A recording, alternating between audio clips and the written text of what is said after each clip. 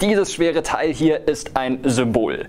Ein Symbol für Unterricht im Jahr 2019. Ihr wisst sicherlich, was das hier ist. Das ist ein Overhead-Projektor und den sieht man immer noch in vielen Klassenzimmern in Deutschland. Also wir machen relativ wenig, was digital angeht. Tja, und um daran etwas zu ändern, werden jetzt 5,5 Milliarden Euro locker gemacht.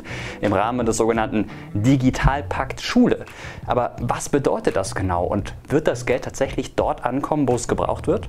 Genau darum geht es jetzt in einer neuen Folge Mr. Wissen Togo exklusiv ohne diesen Projektor. Den stelle ich mal weg, sonst halte ich das nicht durch. Sorry.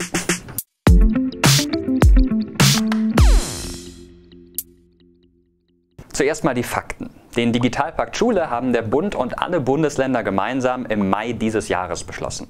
Die Idee stammt noch von der früheren Bundesbildungsministerin Johanna Wanka. Dafür wurde sogar das Grundgesetz geändert. Durch den Artikel 104c kann der Bund die Länder jetzt bei der Bildung finanziell unterstützen, hat aber auch das Recht, über die Gelder mitzubestimmen. Das hört sich jetzt nicht unbedingt spektakulär an, aber vorher ging das nicht, da Bildung in Deutschland Ländersache ist. Das heißt, die Bildungspolitik wird nicht einheitlich gesteuert, sondern jedes Bundesland bestimmt selbst über sie, wisst ihr wahrscheinlich auch. Aber wie sieht der Pakt im Detail aus? 5,5 Milliarden Euro stecken drin und die verteilt der Bund in fünf Jahren an die Länder. Wie viel jedes Bundesland bekommt, regelt der sogenannte Königsteiner Schlüssel. Dabei spielen das Steueraufkommen und die Einwohnerzahl jedes Landes eine Rolle. Das heißt, Bremen kriegt also deutlich weniger als Nordrhein-Westfalen. Mit dem Geld sollen die Schulen in Deutschland digital ausgestattet werden, also Technik wie schnelles Internet und auch Geräte wie Whiteboards bekommen. Laut dem Bildungsmonitor 2018 ist das auch dringend notwendig. Danach müssen sich bei uns zwölf Kinder einen Computer teilen. Beim Spitzenreiter Norwegen sind es nur drei. Aber sehen Schüler das selbst auch so problematisch? Wir haben mal in Hessen nachgefragt. Wir könnten sehr gut mehr Laptops verbrauchen, also auch, dass man die einfach so im Unterricht benutzen kann, damit man nicht immer in diesen Computerraum gehen muss, weil wir haben nur zwei Computerräume. Wir sind eine Schule mit über 1200 Leuten, da kommt man nicht so oft rein. Es ist natürlich schon immer ein bisschen interessanter, wenn man da irgendwie selbst was machen kann mit einem Tablet in der Hand oder wenn der Lehrer da vorne vielleicht mal irgendwie ein äh, bisschen mehr digital macht und nicht äh, irgendeinen blöden Tafelaufschrieb, den ich dann abschreibe. Im Spanischunterricht oder generell Sprachen Französisch, Englisch könnte ich mir vorstellen, dass es sowas wie eine Vokabel-App gibt, wo man auch irgendwie online Vokabel lernen kann und nicht so, so wie früher immer mit Karteikarten. Also Bedarf ist auf jeden Fall da. Rund um das Thema Schule habe ich auch schon mal ein Video gemacht, findet ihr, wenn ihr oben auf das i klickt. Da geht es um unser Schulsystem und warum sich das dringend ändern muss. Da geht es um ganz Grundsätzliches. Deutschland hat aktuell rund 40.000 Schulen. Durch den Digitalpakt würde laut dem Bundesbildungsministerium jede Schule eine Finanzspritze von durchschnittlich 173.000 Euro bekommen. Das sind 500 Euro pro Schüler. Aber wer entscheidet, wie viel Geld jede Schule tatsächlich bekommt? Das System sieht so aus. Die Länder kriegen ihren Anteil. Den vergeben sie dann nach Anzahl der Schulen und Schüler an die Schulträger, also die Kommunen, die Städte. Die bekommen von den einzelnen Schulen Anträge, in denen die Schulen dann erklären müssen, was sie genau brauchen.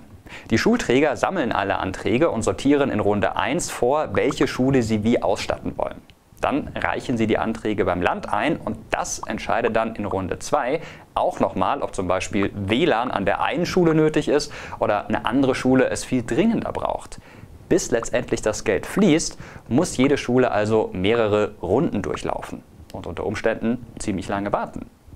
Bringt der Digitalpakt Schule jetzt dann die digitale Revolution trotz langer Wartezeit? Naja, dagegen sprechen drei große Kritikpunkte. Punkt 1 betrifft die Verwendung der Gelder.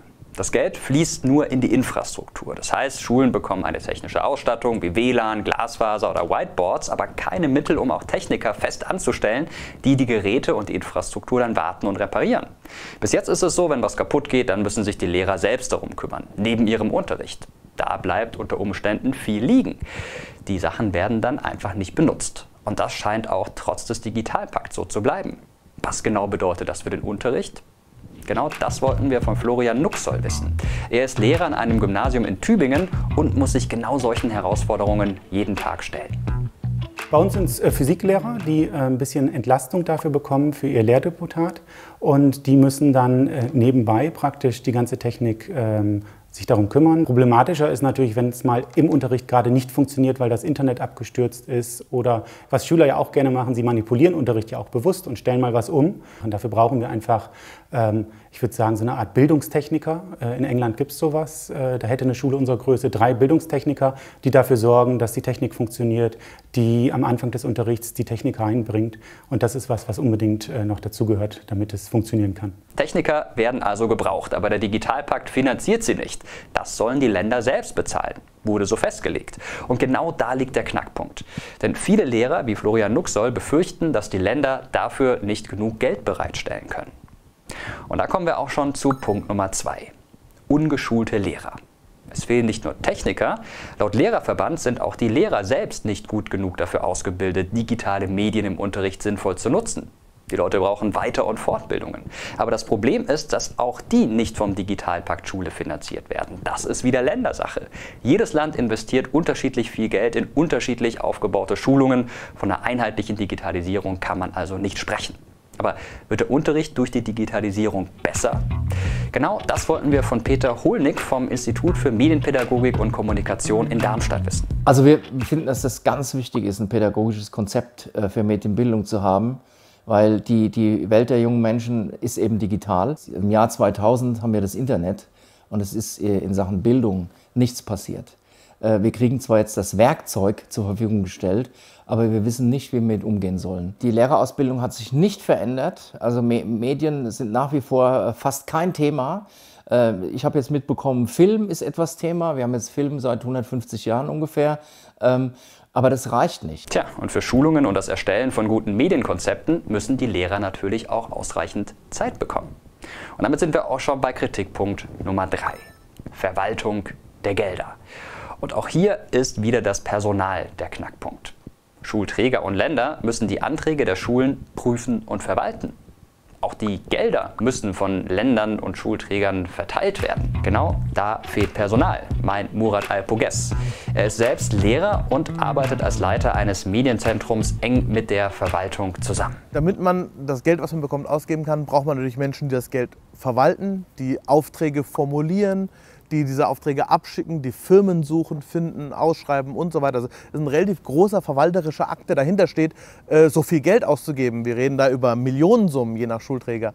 Äh, oder je nach Kommune oder Stadt. Ähm, viele Städte und Kommunen sind heute schon damit überfordert, das Geld, was sie haben, überhaupt äh, vernünftig auszugeben und vor allem auch zu prüfen, ob, es, ob die Arbeiten gut gemacht wurden, ob, ob alles in Ordnung ist. Und das wird durch das äh, Mehr an Geld, was kommt, erstmal nicht besser. Ich befürchte, dass während dieses Förderzeitraums das Geld gar nicht wird ausgegeben werden können. Das heißt, dass viele Mittel an den Bund zurückfließen werden, einfach weil Maßnahmen nicht in der vorgegebenen Zeit umgesetzt werden konnten. Ja, das ist viel Kritik, aber wie sieht das denn die Schirmherrin des Digitalpakts Schule, Bundesbildungsministerin Anja Karliczek?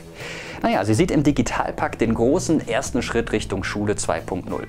Wir haben den interviewten Lehrer und Medienexperten die Möglichkeit gegeben, direkt Fragen an die Ministerin zu stellen. Neben dem Geld brauchen wir auch Menschen, die das Geld ausgeben, Menschen, die Technik warten und Menschen, die Schulen dabei unterstützen, neue Konzepte zu entwickeln. Haben Sie vielleicht eine Idee, wie man mehr Menschen ins System bekommt, die solche Prozesse eben begleiten können? In vielen Schulen gibt es wirklich Lehrer, die sehr technikaffin sind, die genau wissen, wo die Digitalisierung auch einen Mehrwert bringen kann.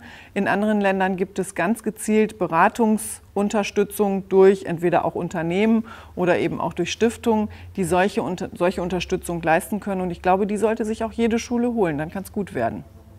Also bleibt es an den Lehrern hängen. Und die Frage ist ja, wer soll diese Unterstützung bezahlen? Wie kann man dafür sorgen, dass die Technik, die jetzt in die Schulen kommt, auch in der Schule gut gewartet wird? Ich glaube, wir müssen immer dazu sagen, es geht ja nicht darum, Technik in Schulen zu bringen, es geht darum, einen Mehrwert durch Technik in die Schulen zu bringen. Und das wollen wir mit dem Digitalpakt machen. Ohne funktionierende Technik aber auch kein Mehrwert, ganz logisch. Also braucht man Menschen, die sie warten.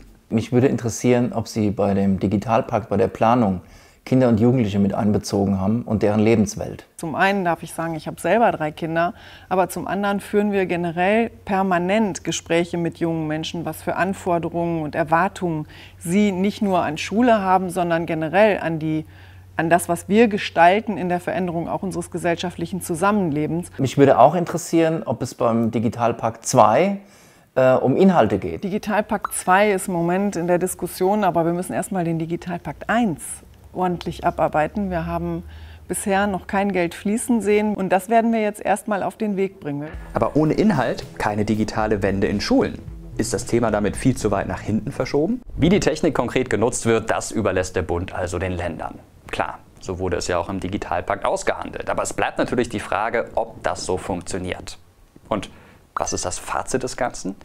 Versteht mich da bitte nicht falsch, es soll jetzt nicht so rüberkommen, dass das Ganze mit dem Digitalpakt nicht gut ist. Es ist dringend notwendig, an unseren Schulen und in der Bildung digital zu investieren, wie ja auch immer wieder gefordert wird, aber eben auch so, dass die Schüler am Ende wirklich was davon haben.